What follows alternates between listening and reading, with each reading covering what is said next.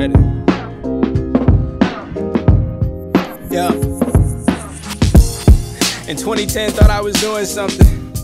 And now I'm rapping with a crew or something. I guess the track don't really stick unless he's gluing something. And I never fit the shoe until I do or something. Yo, bracing myself like teeth, boy. It's the same old route on some new concrete. But homie, these tunes make you get a new ID. I'm trying to do my thing, but the commute ain't cheap. I'm on a two day week for all this rap days. And we can still pitch the track to all the whack DJs. We're singing happy days, wearing tacky J's. And I'm just pumped that I made it out my nappy phase. Let's go. We can turn the whole world around.